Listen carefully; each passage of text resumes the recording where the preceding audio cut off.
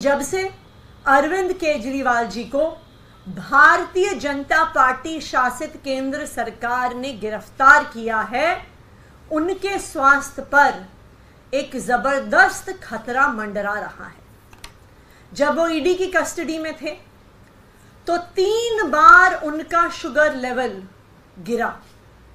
एक बार उनका sugar level 46 तक पहुँच गया जो किसी भी व्यक्ति के लिए जानलेवा साबित हो सकता है।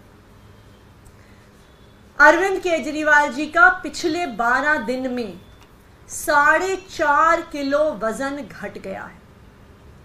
एक डायबिटीज़ का पेशेंट होते हुए, इतने कम समय में इतना ज़्यादा वज़न घटना कई प्रकार की कॉम्प्लिकेशंस पैदा कर सकता है।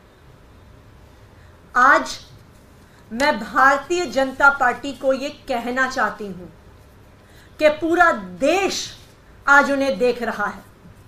आज देख रहा है कि किस तरह से भारतीय जनता पार्टी ने झूठे केस लगाकर अरविंद केजरीवाल को जेल में डाल दिया है, जहाँ आज उनके स्वास्थ्य को खतरा हो रहा है।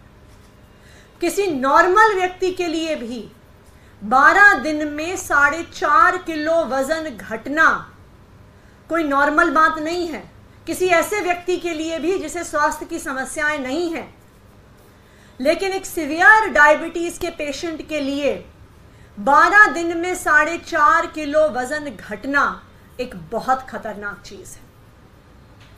भारतीय जनता पार्टी अरविंद केजरीवाल को कुचलने के लिए, आम आदमी पार्टी को कुचलने के लिए किसी भी हद तक जा सकती है। इसलिए मैं भारतीय जनता पार्टी को यह चेतावनी दे रही हूँ कि आज पूरा देश आप पर नज़र रख रहा है।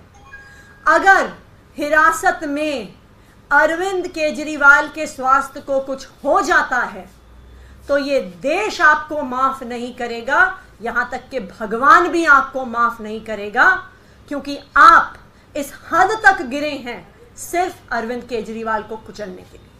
हमसे जुड़े रहने के लिए हमारे YouTube चैनल को सब्सक्राइब करें और नई वीडियो की नोटिफिकेशन के लिए बेल आइकॉन को दबाएँ।